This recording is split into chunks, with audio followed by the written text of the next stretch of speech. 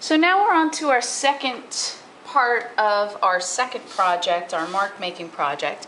And now we're going to be painting. So this is your watercolor palette. This is what it should look like. And you should definitely have some black watercolor in there. Now remember I told you that we were going to use water for the white. Well, there is white watercolor. Uh, it just, it makes the watercolor a little dull in my opinion. See, this is orange with white, and this is just orange with water. They're both the same value. They're both the same darkness. Um, but this one is a little bit more muted, almost like a pastel. So you could use white watercolor if that's the look you want. If you want to uh, create a muted water, uh, muted pastel looking composition with the black India ink, that's fine. So, or if you don't, you can just add water. So let me show you how to do that. So this is a watercolor palette. It's a heavy duty plastic. Sometimes they come in ceramic. So this is a heavy plastic. So what you want to do is I'm going to use, remember we can pick three colors. So I'm going to pick this magenta, this aqua color, and this orange. So let's say I just wanted to use water for the white. So I'm going to take some of this aqua, this turquoisey color, put it in my palette, rinse out my brush, I have some paper towel here to dry it off on. Dry it off. Then take a small amount of the black if you want to change the value. Right? Okay, so this is what it looks like. Sort of like a dark, dirty turquoise, right? But say I wanted to make that lighter. So what I do is I take some water and I just add it in. to my little palette cup there. And I test it out. So it's the same hue, that dirty turquoise, but it's much lighter. Let's say we wanted to add the white to it. I'll show you what that difference is. So I add, get some white on my brush, add it in to my palette. Okay, you won't really see a difference with this until it dries. But you could do all your colors in this palette mixed with white to create a pastel look. That's totally fine.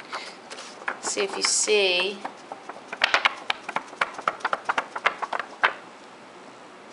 This one's a little bit more vibrant than this one. Let's see. This is a little more vibrant than this one. This one's a little bit pastel. So it's up to you. So now I'm going to choose, I'm just going to use water for my white. And now I'm going to choose where I want to put my areas of color. So I want to get a little water on my brush and I want to just fill in this one area. You could go over the black, that's fine. Actually, what would be nice is to get it really dark on one area. And since it's watercolor, you use water to spread it around, spread out the color. So I leave it dark in one area and I push the puddle, it's called if you, let's see, let me get a piece of watercolor paper here. If you have some watercolor and you see that puddle forming, you see that puddle forming, that's, you want to push that puddle out. Otherwise, it will dry, that puddle will dry, and it will create a darker mark here. It won't be a nice flat color or even it won't be a nice striated color. It will see how that's already drying and you can see that line where I stopped and it started to dry and now I'm pulling it again with water. It's very hard to go back and fix that. So with watercolor, unfortunately, you have to work fast. It's not like acrylic where you can take your time. So you can see it very faintly right there. Okay, so that's the start of my color composition here. And let's say now I wanted to use, maybe I wanted to use that aqua with that white in my palette. Let's try that. Let's bring it in over here.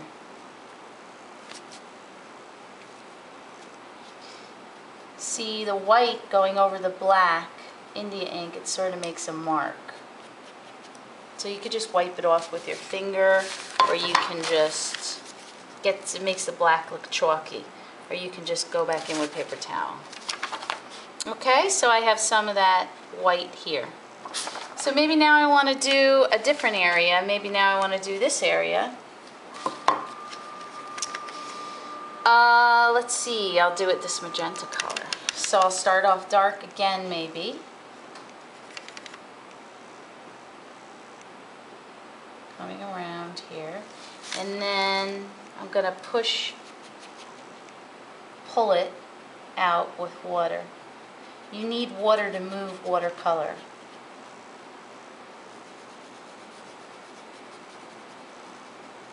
Okay, and I want it a little bit darker over here, so I'm going to just add a little bit more.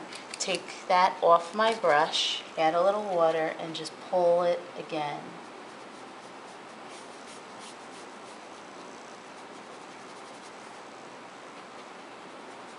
Okay? That's pretty.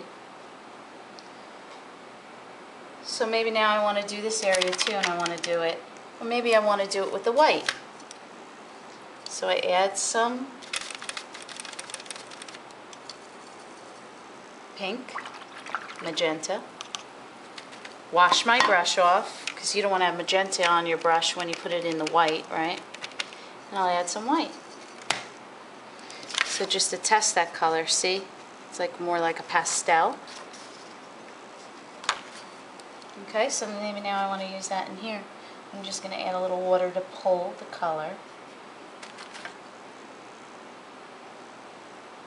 You can also pick up the puddle just by getting some on your brush, almost like a sponge, and pulling it up and then just drying it off on the paper towel. That's pretty. See how that's coming along? So you just want to pick different areas to concentrate on and then design those areas. Like you saw I did some dark here and then I pulled the color with some water, made it lighter. Then I added another value of the aqua, of the turquoise. I added a different value, a lighter value with using the white. Same thing here, okay? So you just want to fill in those areas using black and white to change the value of your three colors. And I will see you in class.